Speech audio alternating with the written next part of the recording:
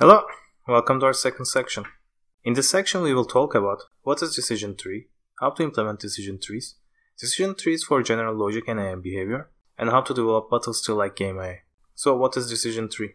In this video, we will talk about what is decision tree, how to use decision trees, and what are the advantages and disadvantages. Decision tree is one of the basic decision mechanisms for game agents. It's basically formalization of a set of nested if-then rules. Usually we use binary trees for implementing decision trees but using k-NARY trees are also possible. In decision trees, each node represents a decision to test, and each leaf represents an action to take. When we are traversing decision trees, we start from the root and go to the leaf. At each node, we perform a test, and then, depending on the test result, we descend to the appropriate branch. When we reach to a leaf, we take the related action.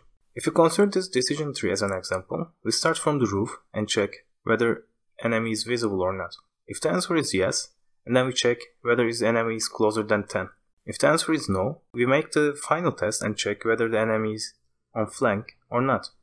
If the answer is yes, we take the move action. While we are building decision trees, the first option constructing them by hand. In this approach, we draw the decision and then implement decision tree using design we just made. The second approach is machine learning. So first of all, we collect a set of attribute values and result in action called examples or samples. And then we apply a learning algorithm to construct a tree. The advantages of decision trees, they're easy to implement, they're easy to debug and understand, they're relatively fast, and learning can be applied.